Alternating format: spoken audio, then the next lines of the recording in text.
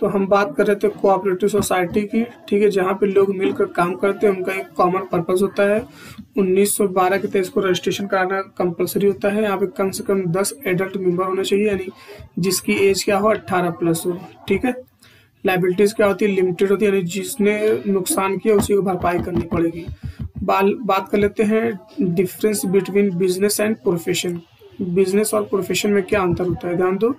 Business के लिए आपको कोई स्पेसिफिक क्वालिफिकेशन ठीक है स्पेसिफिक नॉलेज इसके लिए एबिलिटी की ज़रूरत नहीं होती है, लेकिन प्रोफेशन के लिए आपको उस चीज़ का नॉलेज उस चीज़ की डिग्री का होना बहुत ज़रूरी है। जैसे एग्जांपल मान लो कि as a doctor as a C as a lawyer ठीक है, ये सब क्या होता है? प्रोफेशन होता है, ठीक है? उनको उसके लिए उसकी डिग्री का होना ज़रूरी है। बात कर लेते हैं पॉइंट की स्टार्ट बाय इंटरप्रेन्योर ठीक है? इन्वेस्टमेंट डिपेंड करता है साइज़ ऑफ़ बिज़नेस कि बिज़नेस का साइज़ का उस पर इन्वेस्टमेंट डिपेंड करता है और रिस्क बिज़नेस नेचर